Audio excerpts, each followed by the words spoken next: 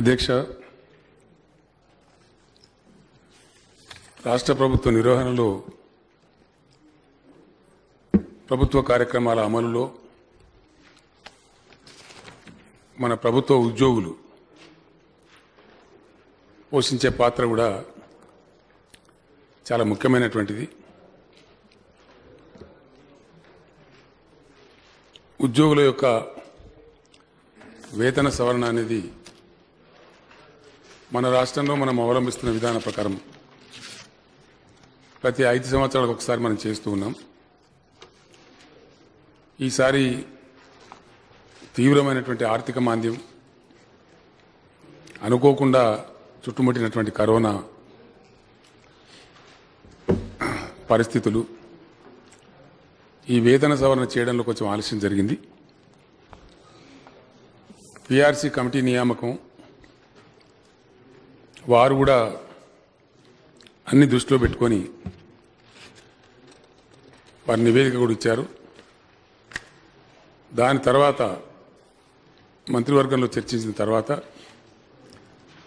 గౌరవనీయులు మన chief secretary Somesh Kumar గారి అధ్యక్షతన ఫైనాన్స్ సెక్రటరీ రామకృష్ణరావు గారు అట్లాగే ఇరిగేషన్ సెక్రటరీ శ్రీ రజత్ కుమార్ గారి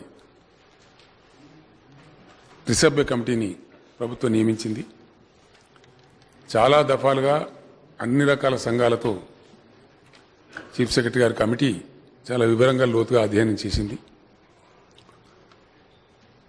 ఉద్యోగస్తులందరినీ కూడా వారు చురుకుగా పనిచేస్తేనే కార్యక్రమాలు సజావుగా అమలు జరిగే పరిస్థితి ఉంటుంది కాబట్టి వారు ఎన్నో కాలం ఎదురు చూస్తున్నటువంటి వేతన సవరణ సంబంధించినటువంటి ప్రకటన ఈరోజు చేస్తూ ఉన్నాం అధ్యక్ష. ఇక్కడ ఉద్యమ సందర్భంలో కూడా తెలంగాణ ఉద్యోగులు పోషించినటువంటి పాత్ర అనిర్వచనీయమైనటువంటిది చాలా సాహసోపేతమైనటువంటి సకల జనుల సమ్మె. దేశం యొక్క ఉద్యమాల చరిత్రలోనే ఒక అపరూపమైన ఘట్టం అధ్యక్ష.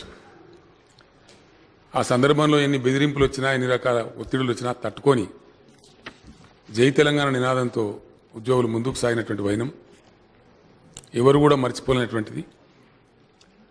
అన్నింటి మించి అధ్యక్ష నేను కొన్ని సందర్భాల్లో చెప్పాను. ఉమ్మడి ఆంధ్రప్రదేశ్ కొనసాగుతున్న సందర్భంలో కూడా తమ పేరు మార్చుకున్నటువంటి ఏకైక సంఘం టీఎన్జిఓ అధ్యక్ష.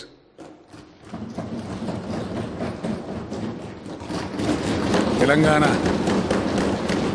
ఆంధ్రప్రదేశ్లో కూడా వారు తెలంగాణ నినాదం విడనాడకుండా తెలంగాణ టీఎన్జిఓ అనే పేరుతోనే తెలంగాణ ఎన్జిఓస్గా కొనసాగినారు. ఆ విశిష్టతను ఆ తెలంగాణ సోయిని నిలిపి ఉంచడంలో కూడా ఆ టీఎన్జిఓ పేరు కూడా ఒక స్ఫూర్తి అధ్యక్ష.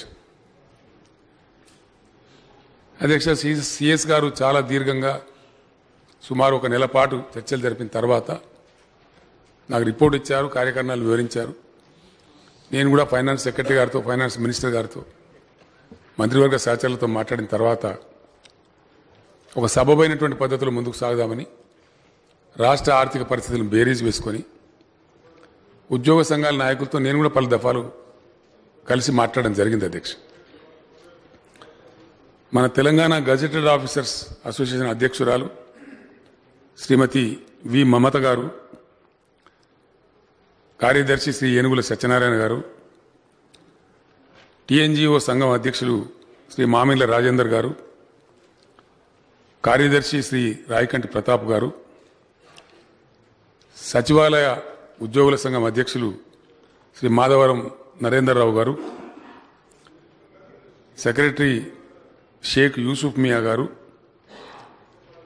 ప్రముఖ ఉపాధ్యాయ సంఘం పిఆర్టీయు అధ్యక్షులు శ్రీ పింగిల్ శ్రీపాల్ రెడ్డి గారు కార్యదర్శి శ్రీ కమలాకర్ రావు గారు నాలుగవ తరగతి ఉద్యోగుల సంఘం అధ్యక్షులు శ్రీ గడ్డం జ్ఞానేశ్వర్ గారు వీరితో పాటుగా గౌరవ శాసనమండలి సభ్యులు శ్రీ కాటేపల్లి జనార్దన్ రెడ్డి గారు శ్రీ రఘోత్తం రెడ్డి గారు శాసనమండలి మాజీ సభ్యులు శ్రీ పూల రవీందర్ గారు తదితరులందరితో కూడా నేను వ్యక్తిగతంగా మాట్లాడడం జరిగింది అధ్యక్ష.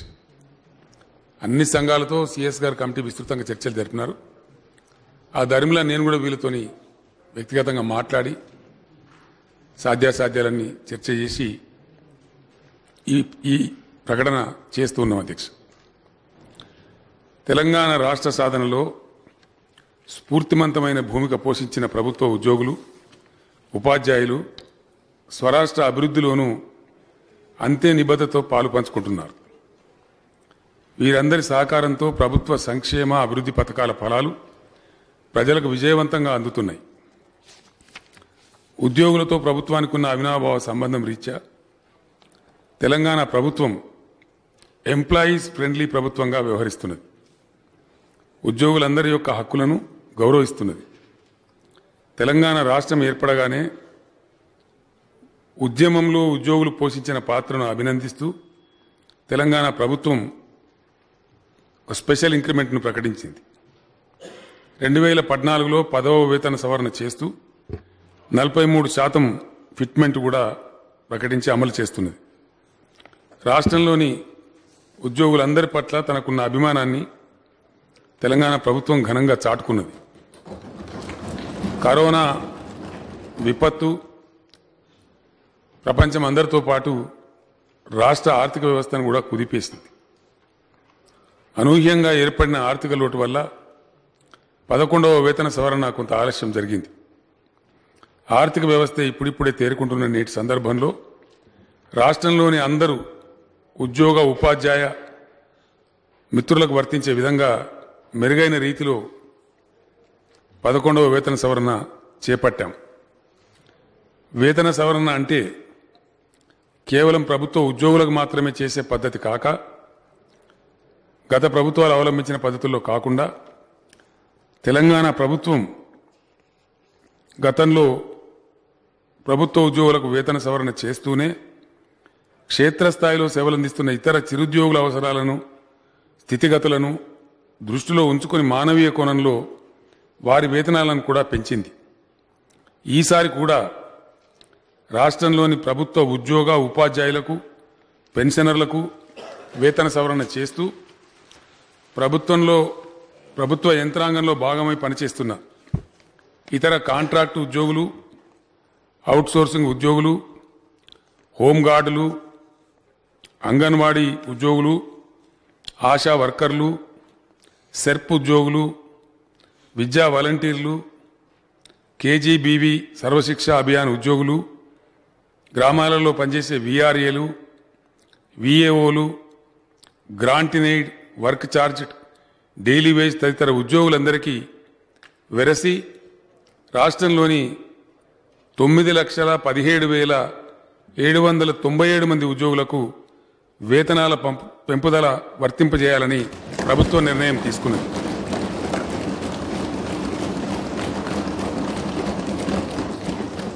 రాష్ట్రంలోని ఉద్యోగ ఉపాధ్యాయ సంఘాలతో సంప్రదింపులు జరిపిన తర్వాత ప్రభుత్వ ఉద్యోగులు కోరిన విధంగానే ప్రభుత్వం ప్రమోషన్ల ప్రక్రియను చేపట్టింది. ఇప్పటి వరకు రాష్ట్రంలో ఎనభై శాతం ఉద్యోగుల ప్రమోషన్ల ప్రక్రియ పూర్తి అయింది మిగతా అర్హులైన ఉద్యోగులతో పాటు అర్హులైన ఉపాధ్యాయులందరికీ సంబంధించిన ప్రమోషన్ల ప్రక్రియ ప్రభుత్వం సత్వరమే ప్రారంభిస్తుందని తెలియజేస్తున్నాను. ఈ ప్రక్రియ పూర్తయ్యాక రాష్ట్రంలోని వంద శాతం అర్హులైన ఉద్యోగులందరూ ప్రభుత్వ ప్రమోషన్లు పొందుతారు. ప్రమోషన్ల తర్వాత ఏర్పడే ఖాళీలను భర్తీ చేసే ప్రక్రియను కూడా ప్రభుత్వం త్వరలోనే ప్రారంభిస్తుంది. పీఆర్సీ కమిటీ సూచనల మేరకు ఎంప్లాయీస్ హెల్త్ స్కీమ్ ఈహెచ్ఎస్ నూతన విధి విధానాలను నిర్ణయించేందుకు ఉద్యోగ సంఘాలు ప్రభుత్వ అధికారుల భాగస్వామ్యంతో ఒక స్టీరింగ్ కమిటీని ప్రభుత్వం ఏర్పాటు చేస్తుంది. ఉద్యోగ విరమణ చేసిన ప్రభుత్వ ఉద్యోగ ఉపాధ్యాయులందరికీ పదిహేను శాతం ఇచ్చే అదనపు పెన్షన్ అడిషనల్ క్వాంటమ్ ఆఫ్ పెన్షన్కు ఉన్న వయోపరిమితిని డెబ్బై ఐదేళ్ళ నుండి డెబ్బై ఏళ్ళకు తగ్గించాలని ప్రభుత్వం నిర్ణయించింది. ఇది రిటైర్డ్ ఎంప్లాయీస్కి బాగా ఉపయోగకరంగా ఉంటుంది అధ్యక్ష. గతంలోని ఉమ్మడి జిల్లాల సీనియారిటీ ప్రాతిపదికన యాజమాన్యాల వారీగా అర్హులైన ఉపాధ్యాయులందరికీ ప్రమోషన్లు బదిలీల ప్రక్రియను వెంటనే నిర్వహించాలని ప్రభుత్వం నిర్ణయించింది. ప్రాథమిక పాఠశాలలో ప్రస్తుతం పనిచేస్తున్న ప్రధాన ఉపాధ్యాయులతో పాటు ఆ సంఖ్య పదివేలకు చేరే విధంగా అదనపు ప్రధానోపాధ్యాయ స్కూల్ అసిస్టెంట్ల సమాన స్థాయి పోస్టులను మంజూరు చేస్తూ ప్రభుత్వం నిర్ణయం తీసుకున్నది. వేరువేరు జిల్లాలలో పనిచేస్తున్న భార్యాభర్తలైన ఉద్యోగ ఉపాధ్యాయులు ఒకే జిల్లాలో పనిచేయడానికి వీలుగా అంతర్జిల్లా బదిలీల ప్రక్రియను కూడా ప్రభుత్వం వెంటనే ప్రారంభిస్తుంది. ఇది అధ్యక్ష ఒకే జిల్లా కాదు వీలైతే ఒకే యూనిటు లేదా ఒకే మండలం కనీసం ఒకే జిల్లాలో పనిచేయడానికి ఇది వర్తిస్తుందని సందర్భంగా నేను తెలియజేస్తా ఉన్నాను. తెలంగాణ రాష్ట్రంలో పనిచేస్తున్న ఆంధ్రప్రదేశ్కు చెందిన ఉపాధ్యాయులు ఉద్యోగులు వారి రాష్ట్రానికి తిరిగి వెళ్ళేందుకు ప్రభుత్వం వారికి అనుమతులు ఇస్తుంది. ఈ మేరకు ఉత్తర్వులు జారీ చేయబడతాయి. కేజీబీవీలో పనిచేస్తున్న మహిళా సిబ్బందికి ఇంతకుముందు లేదు అధ్యక్ష ఈ సౌకర్యం. ఆ కేజీబీవీలో పనిచేస్తున్న మహిళా సిబ్బందికి వేతనంతో కూడిన నూట ఎనభై రోజుల ప్రసూతి సెలవు సౌకర్యం కల్పించాలని ప్రభుత్వం నిర్ణయించింది.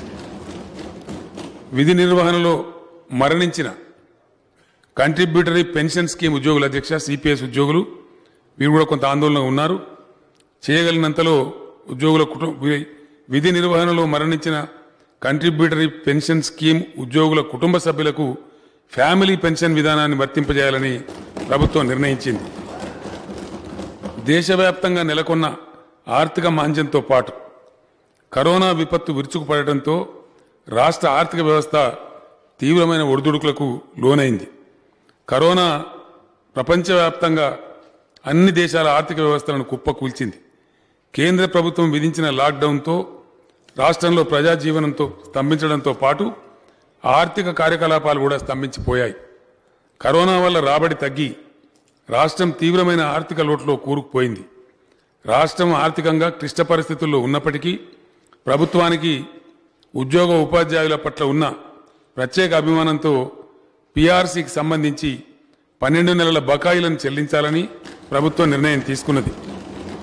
ఈ బకాయిలను రిటైర్మెంట్ బెనిఫిట్స్తో పాటు కలిపి పొందే విధంగా అవకాశం కల్పించబడుతుంది. ఉద్యోగ ఉపాధ్యాయుల రిటైర్మెంట్ సందర్భంలో ఇచ్చే గ్రాట్యుటీని పన్నెండు లక్షల నుంచి పదహారు లక్షలకు పెంచాలని ప్రభుత్వం నిర్ణయించింది. గత ఎన్నికల మేనిఫెస్టోలో ఇచ్చిన హామీకి కట్టుబడి రాష్ట్రంలోని ప్రభుత్వ ఉద్యోగ ఉపాధ్యాయుల రిటైర్మెంట్ వయోపరిమితి అరవై ఒక్క సంవత్సరాలకు పెంచుతున్నామని తెలియజేయడానికి సంతోషిస్తూ ఉన్నాను. అనుభవజ్ఞులైన ఉద్యోగుల సేవలు వినియోగించుకోవాలనే లక్ష్యంతో ఈ వయోపరిమితి పెంపును ప్రకటిస్తున్నాం. ఈ నిర్ణయం తక్షణం అమల్లోకి వస్తుంది. రాష్ట్రంలోని ప్రభుత్వ ఉ- ఉద్యోగ ఉపాధ్యాయులందరికీ ముప్పై శాతం ఫిట్మెంట్ ప్రకటిస్తున్నామనే శుభవార్తను తెలియజేయడానికి సంతోషిస్తూ ఉన్నాను. ఈ ఉత్తర్వులు ఏప్రిల్ ఒకటి ఇరవై ఇరవై ఒకటి నుండి అమల్లోకి వస్తాయి. ఉద్యోగ ఉపాధ్యాయుల సమస్యల పరిష్కారంలో ప్రభుత్వం అనుసరించిన విశాల దృక్పథానికి అనుగుణంగా ప్రతిస్పందించి ఉద్యోగులు కూడా విధి నిర్వహణలో మరింత అంకితభావంతో నిమగ్నులవుతారని ప్రజాసేవలో ఏ లోటు రాకుండా పూర్తి నిబద్ధతతో పనిచేస్తారని ప్రభుత్వం ఆశిస్తున్నది.